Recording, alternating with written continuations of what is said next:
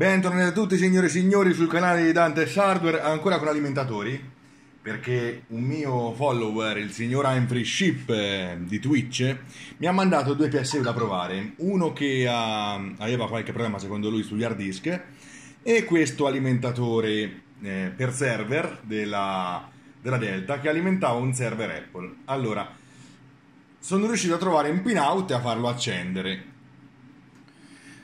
come vedete ho collegato le tre rail principali, la massa e ci sono due pin da ponticellare a massa che sono il PSU kill e il PSU on, ponticellati quelli, dovrebbe accendersi in teoria. Loro dicono che è rotto, vediamo se va. Io non mi metterò a misurare anche le rail minori, potremmo farlo, quindi per rail minori intendo comunque la Q3,3 US, eh, USB che questo ha, la 5 USB e questo qui addirittura ha anche eh, l'SCL e quindi dei bit di controllo che probabilmente i server usano. Ma andiamo a vedere se si accende. Ovviamente ho fatto con dei cavi dell'alimentatore vecchio dei ponticelli, vediamo un po'. Oh! Tensioni sono un pochino particolari, ma pare accendersi. Abbiamo 12,6 volt sulla 12 volt, 3,74 volt sulla 3,3 e 5,5 sulla 5 volte. Lui dichiara, per l'esattezza, eh, vediamo, addirittura 34 ampere sulla meno 12 volt. No, che cazzo sto dicendo, scusate. 34 ampere sulla 5 volte e 25 ampere sulla 12 volte, quindi 250 eh, 25 200 sono 300 ampere sulla 12 volte. 300 ampere sulla 12 volte che sono 300 watt sulla 12 volte e vediamo se li regge ora. Ora vi chiedo scusate se la mia voce va e viene oggi sono con questa camerina un po' scrausa perché la batteria della Canon è andata. Allora intanto andiamo a vedere il Ripple. 5 mV per divisione Ripple inesistente diamogli un piccolo carico eh, di 75 watt eh, le tensioni scendono subito un pochino il Ripple non aumenta eh, quindi facciamo 7 14 21 siamo a 240 watt il massimo carico 287 watt. Ragazzi il ripple sulla 12 volt è di con dei picchi di 12 millivolt più o meno 12 millivolt. Ottimo veramente ottimo se alimentiamo anche le rail minori andiamo a vedere il ripple sulle rail minori vediamo che sulla 5 volte andando a caricarle abbiamo circa 15 mV di ripple e sulla 3,3 abbiamo un ripple a corpo pieno di circa 5 mV con degli spike che si protraggono per 25 mV circa forma d'onda triangolare per la 3,3 forma d'onda sempre triangolare con una modulazione un po' diversa per la 5 volt forma d'onda inesistente per la 12 volt ovviamente. Beh eh, signori non mi sembra tanto rotto questo alimentatore sinceramente anche perché eh, stiamo erogando la bellezza di 325 watt totali le tensioni ci sono eh, se noi aggiungessimo altro wattaggio non so fino a quanto si potrebbe spingere oltre questo PSU aggiungiamo altri 50 watt. 400 watt passa da 12 volte non si muove lui regge no si è spento è andato in protezione.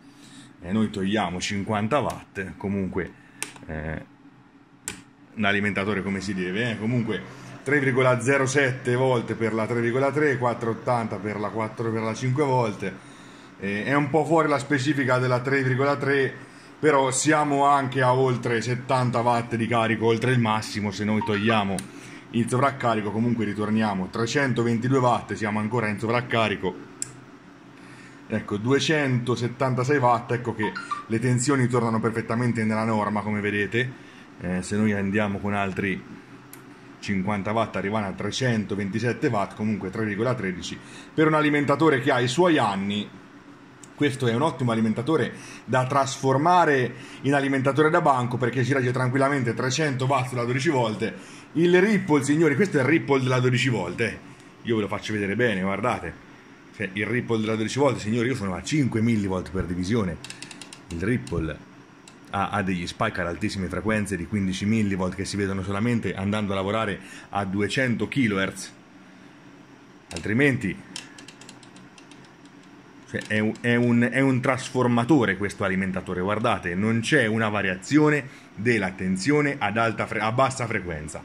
Questo alimentatore è una batteria, delta e delta signori. Adesso passiamo al secondo, poi li apriamo entrambi. Come possiamo vedere, I'm Free Ship eh, mi scrive gentilmente eh, Patrick, questo ali è stato la causa del male di alcuni dischi. Per fortuna ho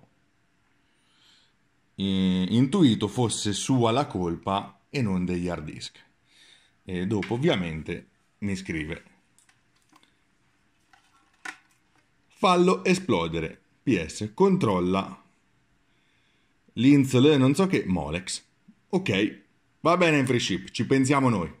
Tranquillo. Alimentatore che ci dichiara 15 A sulla 12 volt che sono circa 120 e 180 watt.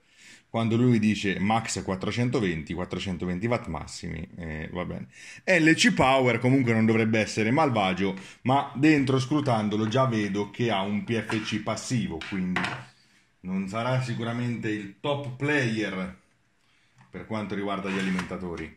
E vedremo se riusciremo a fare qualcosa di bello accendendolo sul bottone ha fatto un rumoraccio brutto. Ho paura anche del ah no. C'è qualcosa di acc- 56 watt. No.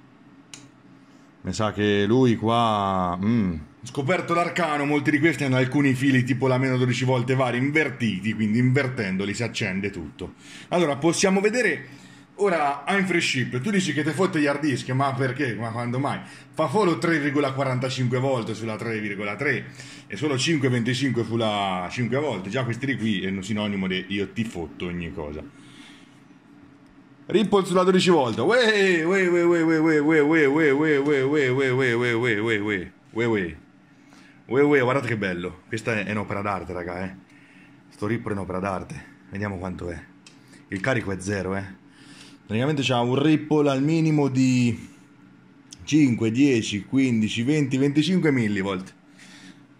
Eh, gli diamo 75 watt. Minchia. Io così sono a 20 millivolt per divisione e con 75 watt ho un Ripple di 5, 20, 40, 60, 70, 70 millivolt.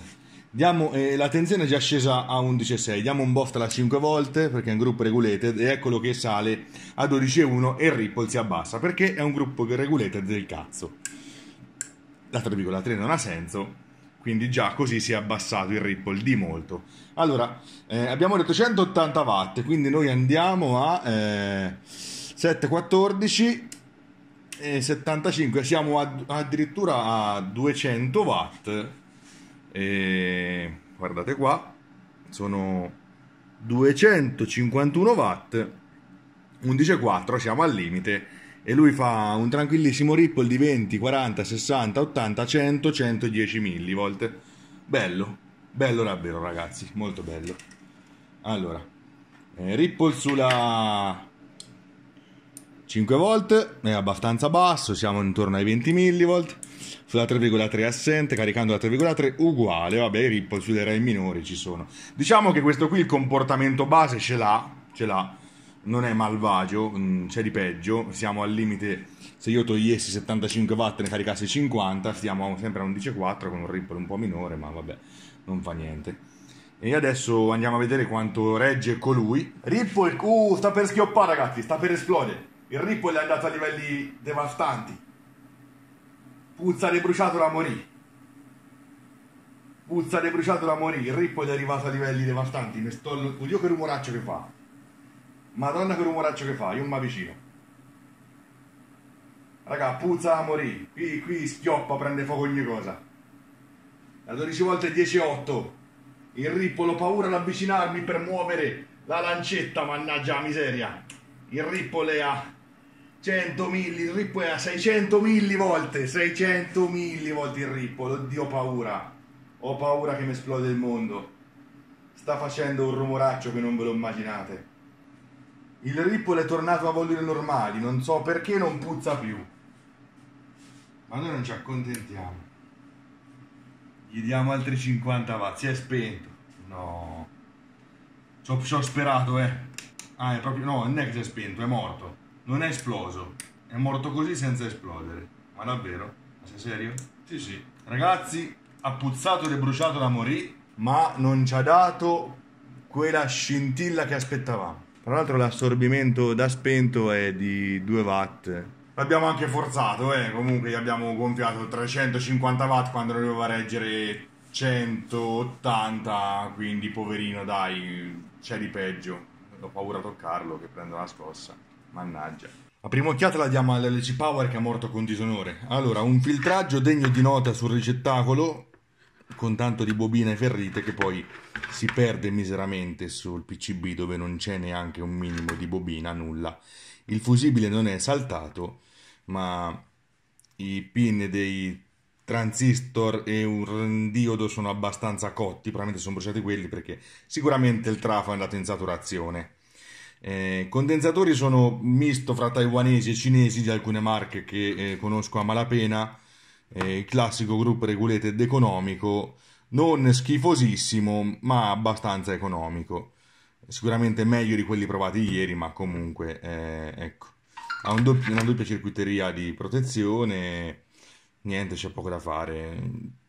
Una cineseria non troppo cineseria. E ovviamente il ponte di diodi con i diodi molto sottodimensionati, mm, poco da dire. Ma andiamo a vedere come è fatto il cazzo di Delta, che quello mi interessa di più vederlo dentro, sinceramente. Raga, sapete che io mi emoziono per poche cose. Però stavolta io una roba del genere l'avevo mai vista in vita mia con un alimentatore. Mi sono emozionato a vedere un alimentatore di questo genere. Guardate che lavoro. Questa, raga, è un'opera d'arte. La corrente entra da qui. Eccola. C'è una scheda di controllo addirittura che gestisce il controller della corrente va qua.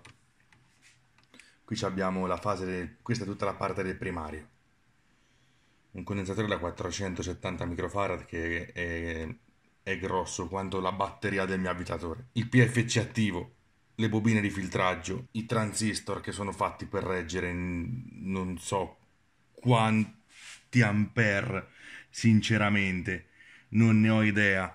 Resistenze, penso di... non lo so, non ho idea. Una valangata di roba, schede tutti i tipi. Filtraggio assoluto, condensatori tutti Nippon Chemical, Nichicon, non ce n'è uno diverso. Le tre rail, le tre rail divise, ognuna con un suo controller.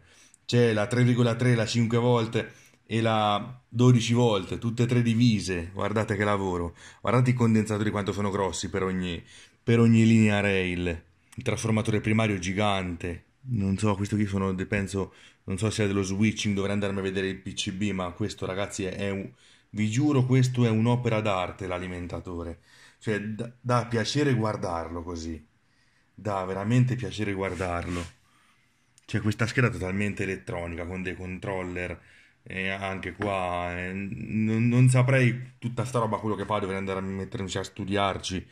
È, è fantastico, guardateli qua quanto sono grossi. Anche sti transistor qua, penso siano, non penso siano dei doppi diodi, non dei transistor, sinceramente. Però magari se, se ci riguarda il video sicuramente mi saprà dire meglio. Io a un occhio così veloce non ho parole, cioè è una cosa bellissima vedere una roba simile è emozionante, guardate, guardate che opera d'arte. Sembra un amplificatore di una macchina. Questa signora è un'opera d'arte. Poi, fra l'altro, aveva, aveva questo dissipatore qua sopra. Qui c'era questo che era messo così, che teneva tutti i pleti collegati e dissipati. Ragazzi, veramente, sto Delta, un'opera d'arte.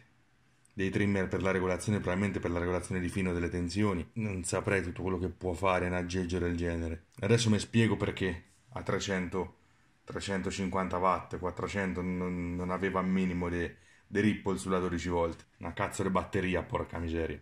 Io ti prometto a InfreeShip che de sto coso io ci fo un quadretto e lo appendo sul muro. Perché questo qui è anche uno spreco usarlo. Se non opera d'arte del genere, io ci devo fare un quadretto, togliergli tutti questi dissipatori, tirarlo fuori, prendere queste ruschede, ficcarle dentro un qualcosa e appendere al muro. Perché questo di qui, per me, è un quadro. Lo metto vicino a Goku.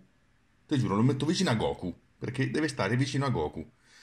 Ragazzi, se questo video abbastanza semplice ma particolare vi è piaciuto, lasciate un like, condividete, iscrivetevi al canale, ricordatevi il nostro gruppo Telegram, il gruppo eh, su Facebook, il canale delle offerte che ancora è piccolo ma stiamo cercando di portare sempre migliori offerte per voi e questo è tutto da Dantes Hardware. Ciao e buona giornata!